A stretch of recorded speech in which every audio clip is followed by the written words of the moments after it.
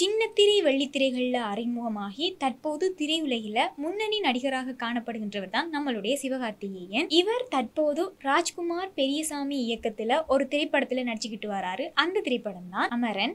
இந்த திரைப்படத்துல நம்மளுடைய சிவகார்த்திகேயனுக்கு ஜோடியாக சாய் பல்லவி தான் நடிச்சுக்கிட்டு வராங்க. அது மட்டும் இல்லாமல் இந்த திரைப்படத்திற்கான இசையை நம்மளுடைய ஜிவி பிரகாஷ் தான் வழங்கிக்கிட்டு வராரு. இந்த திரைப்படம் அக்டோபர் முப்பத்தி ஓராம் தேதி தீபாவளியை முன்னிட்டு திரையரங்குகள்ல வெளியாக இருக்கிற நிலையில கமல் பிலிம் இன்டர்நேஷனல் நிறுவனம். இந்த அமரன் திரைப்படத்திற்கான ஃபர்ஸ்ட் சிங்கிளை நாளை வெளியிட இருக்கிறதாக அறிவிச்சிருக்கிறாங்க. அது மட்டும் சிவகார்த்திகேயன் அமரன் திரைப்படத்தில் நடிச்சிட்டு வரதோடு இன்னும் ஒரு ஏ ஆர் முருகன்தாஸ் இயக்கத்திலையும் ஒரு திரைப்படத்தில் நடிச்சுக்கிட்டு வராரு. இந்த திரைப்படத்திற்கு தற்காலிகமாக எஸ்கே டுவெண்ட்டி த்ரீ என பெயரிட்டிருக்கிறாங்க. இந்த திரைப்படத்துல சிவகார்த்திகேயனுக்கு வில்லனாக வித்யுத் ஜம்பால் தான் நடிக்கிறாரு. அது மட்டும் இல்லாம இந்த திரைப்படத்துல கதாநாயகியாக ருக்மிணி வசந்த் தான் நடிக்கிறாங்க. இந்த திரைப்படத்திற்கான இசையை நம்மளுடைய ராக் ஸ்டார் அனிருத் தான் வழங்குறாரு. இந்த திரைப்படம் எதிர்வரும் ஆண்டு பொங்கலை முன்னிட்டு வெளியிட இருக்கிறதாகவும் அந்த படக்குழு ஒரு தகவலை அறிவிச்சிருக்கிறாங்க. அது மட்டும் இல்லாம இந்த திரைப்படத்துல பிரபல மலையாள நடிகையான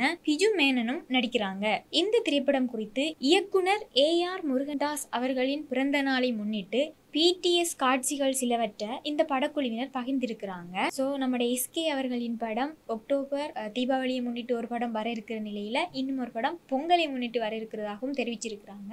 ஸோ வெயிட் பண்ணி பார்ப்போம். நம்மளுடைய சிவகார்த்திகேயன் நடிப்பில் வெளிவந்த மான்கராத்தே திரைப்படத்தை இயக்கிய இயக்குனர் திருக்குமரன் தான் அருண் விஜயின் நடிப்பில் ரெட்டத்தல என்ற திரைப்படத்தை இயக்கிக்கிட்டு வராரு. இந்த திரைப்படத்தின் கதாநாயகியாக சித்தி இக்னானி நடிக்கிறாங்க. இதற்கு முன்பு இவங்க சிம்பு நடித்த வெந்து தணிந்தது காடு திரைப்படத்தின் கதாநாயகியாக நடிச்சிருப்பாங்க. இவர்களுடன் சேர்ந்து தன்யா ரவிச்சந்திரனும் நடிச்சிருக்கிறாங்க. அது மட்டும் இல்லாம இந்த திரைப்படத்திற்கான இசையை சாம் சிஎஸ் தான் வழங்குறாரு. இந்த திரைப்படத்திற்கான முதற்கட்ட பணிகள் நிறைவிட்டிருக்கிற நிலையில இந்த திரைப்படத்தின் இறுதிக்கட்ட பணிகள் கோவாவில இடம்பெறுது. இதற்காக அந்த படக்குழுவினர் கோவாவிற்கு சென்றிருக்கிறாங்க. இந்த படப்பிடிப்பு தொடர்பான புகைப்படங்களை அந்த படக்குழுவினர் தங்களுடைய எக்ஸ் தளத்தில் பதிவிட்டிருக்கிறாங்க. கடந்த இரண்டாயிரத்தி பத்தொன்பதாம் ஆண்டு இயக்குனர் ஆதியன் ஆதிரி இயக்கத்தில அட்டக்கத்தி தினேஷ் நடிப்பில் உருவான படம்தான் இரண்டாம் உலகப் போரின் கடைசி கொண்டு இந்த திரைப்படம் விமர்சன ரீதியாக மக்கள் மத்தியில் ஒரு நல்ல வரவேற்பை பெற்றிருந்துச்சு. அதன் பிறகு இயக்குனர் ஆதியன் ஆதிரை இயக்கும் இரண்டாவது படம் தான் தண்டகாரண்யம். இந்த திரைப்படத்தின் பெயரை பார்க்கும் போதே நமக்கு பார்க்கணும்னு தோணும். அவ்வளவு அழகா இருக்குது தண்டகாரண்யம். இந்த திரைப்படம் வந்த பிறகு எவ்வளவு சூப்பராக இருக்கும்னு வெயிட் பண்ணி பார்ப்போம்.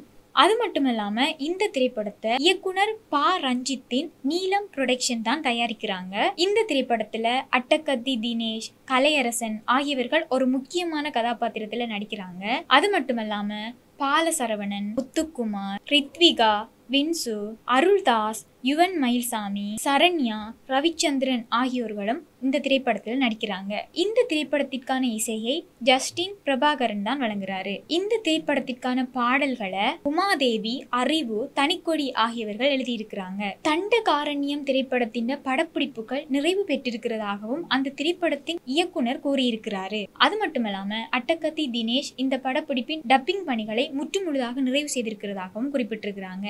அது மட்டும் இல்லாமல் இயக்குனர் பா ரஞ்சித் இந்த திரைப்படத்தின் ஃபர்ஸ்ட் லுக் அப்டேட் பற்றி ஒரு கருத்தையும் வெளியிட்டிருக்கிறாரு. அதாவது இந்த திரைப்படத்தின் ஃபர்ஸ்ட் லுக் போஸ்டர் வெளியிட இருக்கிறதாகவும் அவர் குறிப்பிட்டிருக்கிறாரு. இரண்டாயிரத்தி பதினெட்டாம் ஆண்டு இயக்குனர் பிரேம்குமார் இயக்கத்தில் வெளிவந்த நைன்டி சிக்ஸ் படத்தை பார்த்து ரசிக்காதவர்கள் யாருமே இருக்க மாட்டாங்க. பலருக்கு பள்ளிப்பருவ காதல் ஞாபகங்கள்லாம் வந்திருக்கும் இந்த திரைப்படத்தை பார்த்து. ஸோ அவ்வளோ ஒரு அழகான திரைப்படத்தை நம்மளுடைய பிரேம்குமார் நமக்காக தந்திருப்பாரு. இந்த திரைப்படம் முற்று முழுதாக பள்ளிப்பருவ காதலை அடிப்படையாக கொண்டு உருவான ஒரு படமாகத்தான் காணப்பட்டது. இந்த திரைப்படத்தில் விஜய் சேதுபதி த்ரிஷா முன்னணி கதாபாத்திரத்தில் நடிச்சிருப்பாங்க. தற்போது இயக்குனர் பிரேம்குமார் கார்த்தியன் இருபத்தி ஏழாவது திரைப்படமான மெய்யழகன் திரைப்படத்தை இயக்கி முடிச்சிருக்கிறாரு. இந்த திரைப்படம் திரையரங்குகள்லையும் வெளியாக இருக்குது. இந்த மெய்யழகன் திரைப்படத்தில் அரவிந்த் சாமி ராஜ்கிரண் ஸ்ரீதிவ்யா உள்ளிட்ட பலர் நடிச்சிருப்பாங்க. இந்த மெய்யழகன் திரைப்படத்தை சூர்யா ஜோதிகாவின் டூ டி நிறுவனம் தான் தயாரிச்சிருக்கிறாங்க. இந்த நிலையில மெய்யழகன் திரைப்படத்தின் ப்ரமோஷன் நிகழ்ச்சியின் போது இயக்குனர் பிரேம்குமாரிடம் நைன்டி சிக்ஸ் பாகம் இரண்டு திரைப்படம் பற்றி பல கேள்விகள் கேட்கப்பட்டது. அதற்கு இயக்குனர் பிரேம்குமார் நைன்டி சிக்ஸ் பாகம் ஒன்று முற்றுமுழுதாக காதல் கதையை அடிப்படையாக கொண்டு உருவாக்கப்பட்ட ஒரு திரைப்படம் என்றும் ஆனால் நைன்டி சிக்ஸ் பாகம் இரண்டு காதல் கதை இல்லாமல் குடும்ப பிரச்சனையை மையமாக கொண்டு உருவாக இருக்கிறதாகவும் நம்மளுடைய பிரேம்குமார் கூறியிருக்கிறாரு. அது மட்டும் இல்லாம உணர்வு பூர்வமாகவும் இந்த கதை உருவாக உள்ளதாகவும் அவர் கூறியிருக்கிறாரு. என்னப்பா அப்படி டப்புன்னு போட்டுட்டீங்கன்னு தான் யோசிக்கிறீங்க? காதல் கதையா இல்லைன்னா இல்லைன்னு சொன்னாலும் ஒரு குடும்ப கதை கதையா உருவாகுதுன்னா அதுல ஏதோ இருக்கும். பட் வெயிட் பண்ணி பார்ப்போம்.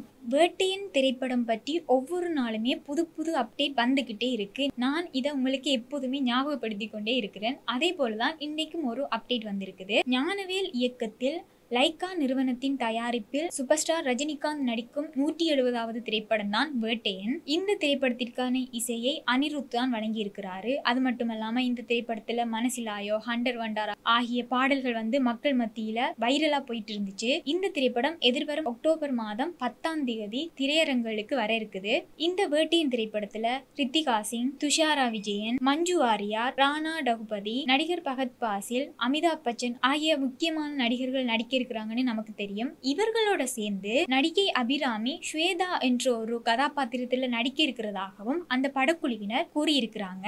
அது மட்டுமல்லாம அபிராமி நடித்த வீடியோவையும் அந்த படக்குழுவினர் வெளியிட்டிருக்கிறாங்க.